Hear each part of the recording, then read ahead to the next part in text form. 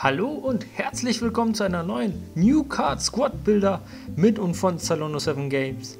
Und wie ihr sehen könnt, es geht um diesen jungen Herrn, Cessignon, Young Player of the Year ist er geworden. Diese SBC kann man jetzt aktuell für 50k circa machen. Und ich sag euch eins, äh, Freunde, der Spieler lohnt sich auf jeden Fall. Der spielt sich richtig überragend.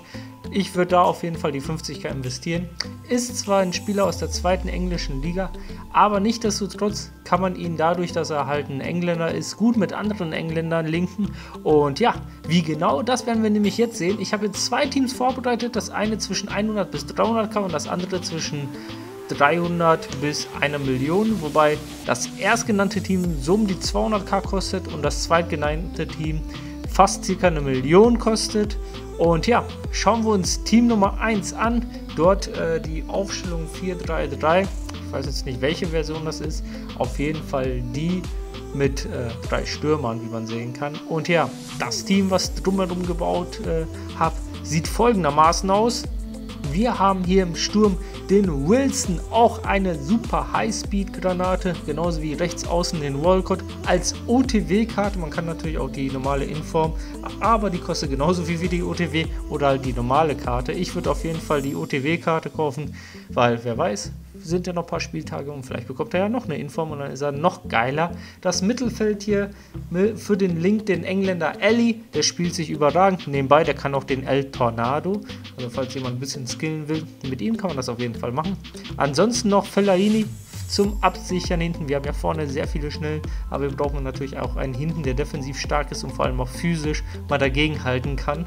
Da haben wir Fellaini gewählt. Ansonsten kann man natürlich auch die klassische Variante Bakayoko oder sonstiges nehmen.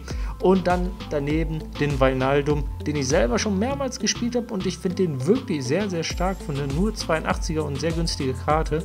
Also so ein bisschen OP, dadurch, dass er auch High, High die Weights, die Work Weights hat, äh, ist er sehr, sehr nice. In der Abwehr haben wir unten rechts das Manchester City Duo Danilo und Stones. Danilo spiele ich aktuell selber im ähm, OC Cup, wo ich ja ähm, jetzt äh, in, in, in, der K.O.-Phase bin. Und muss sagen, Danilo gefällt mir sehr, sehr gut. Und offensiv wie auch defensiv sehr stark mit Shadow drauf. Dann passt das. Dann haben wir noch den Stones als äh, Team of the Group Stage Karte mal eine schöne Karte, die man sonst nicht so oft sieht.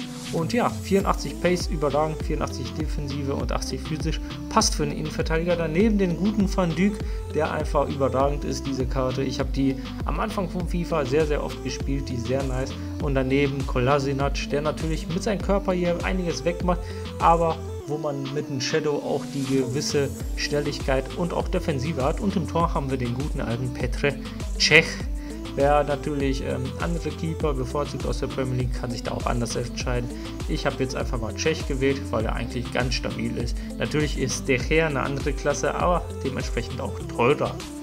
Das ist also das Team, das ca. 200k kostet. Ich denke, das ist ein sehr, sehr stabiles 200k-Team. Vor allem, ähm, wenn man gerne mit Pace spielt und vorne die Leute schickt. Wilson überragend, der 84er spielt sie sehr, sehr geil.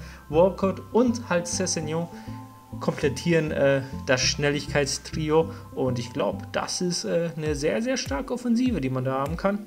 Und wir gehen jetzt einfach mal ins 1 Millionen Team und da haben wir nämlich die Aufstellung 4-4-2 gewählt. Das heißt, wir spielen hier mit zwei Stürmern und zwei Außenspieler, einfach aus dem Grunde, weil Cessignon, wie ihr sehen könnt, Defensive 76 hat. Das heißt, er kann auch sehr gut mit nach hinten arbeiten und ja, wenn da mal eine Führung da ist, kann man den auch mal ein bisschen defensiver stellen und er unterstützt dann hier in dem Fall Luke Shaw sehr, sehr stark. Genau dasselbe haben wir nämlich auch auf der anderen Seite gemacht.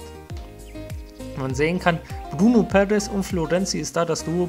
Bruno Perez auch selber 73 Defensive. Also wer hier, ich sag jetzt mal, den Beton anrühren muss, der kann das mit dieser Aufstellung sehr, sehr gut machen.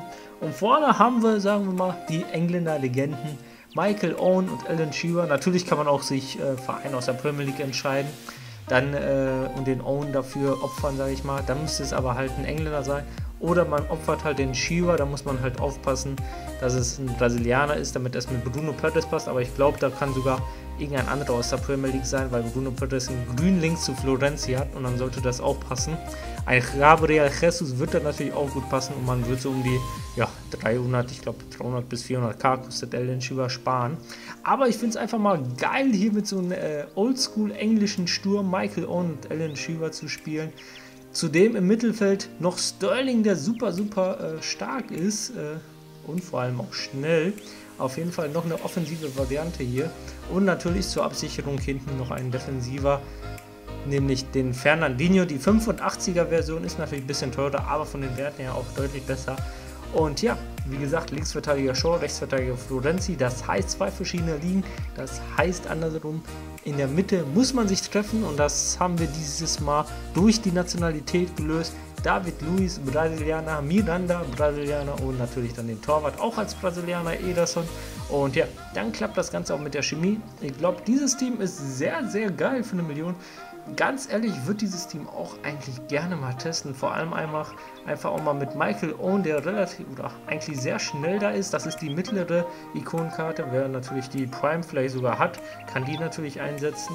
Und ja, Lin Shiva haben wir die Prime-Version, die auf dem Transfer macht, wie gesagt, mit 300 bis 400k kostet, also richtig günstig und von den Werten her nicht so schlecht aussieht. Natürlich, Pace fehlt ihnen ein bisschen, aber Schießen 93 und physisch 85 ist eigentlich überragend. Ähm, ja, also ich würde diese Mannschaft gerne mal testen, wenn ich jetzt die Coins hätte. Ja, das sind auf jeden Fall zwei Varianten für die neue Cessignon Youngest Player of the Year Karte. Und ja, wenn es euch gefallen hat, lasst gerne ein Like da.